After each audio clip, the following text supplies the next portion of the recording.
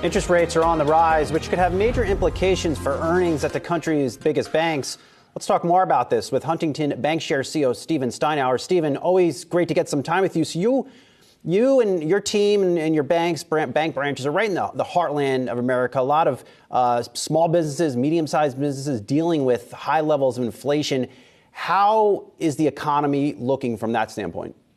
The economy looks very, very strong, and there's a a lot of economic activity going on. Uh, it's supply chain labor, uh, supply chain constrained, labor constrained, um, uh, and it's been this way for a couple of years. There's a lot of manufacturing onshoring or reshoring, and then there's uh, economic development activity. We've never seen this level of activity here in Central Ohio. We've the Intel multiple chip announcements. So they announced two at $20 billion at the start of the year.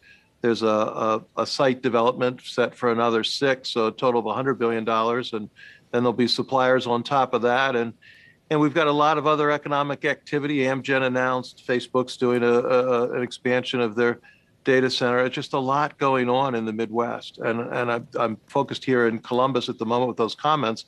Say the same thing about Detroit or Indianapolis or, or Cincinnati or Cleveland. So uh, it's a great time to be doing business here. And Steve, it's Julie here. It's good to see you. So you guys experience commercial loan growth, which is not something we've been able to that all banks have been able to say. Is that indeed a function of where you are um, and the character of the small business community where you guys are located? I think our colleagues have just done a great job serving our clients over an extended period of time, and that has set up relationships.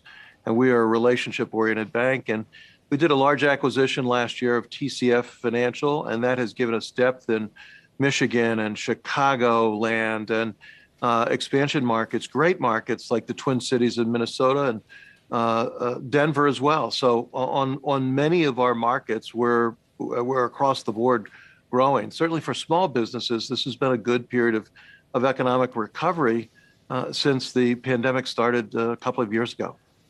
Steve, how difficult is it to staff bank branches right now in this tight labor market?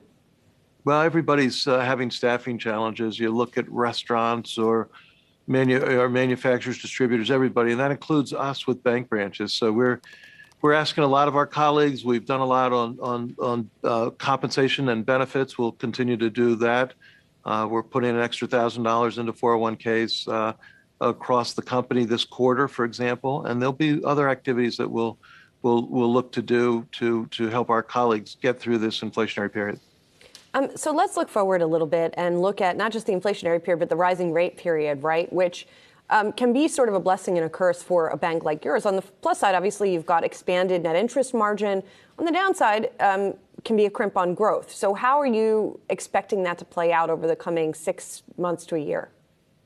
Our business lines are very well positioned in this regard. We are number six or seven in terms of equipment finance. So, a lot of automation to supplant the lack of labor is, is going to occur. It's in process. More of that will occur in the Midwest as uh, industrials reshore. A lot of that will be in the Midwest.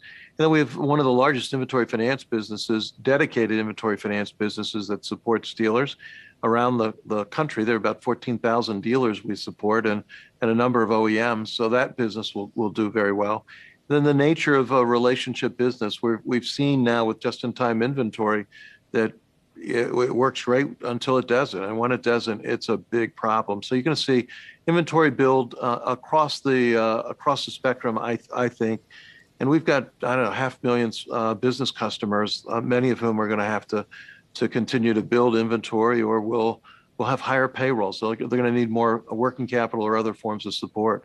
And we're beautifully positioned. We've got a lot of capital and liquidity to help them. Steve, are you concerned that we could be nearing a recession?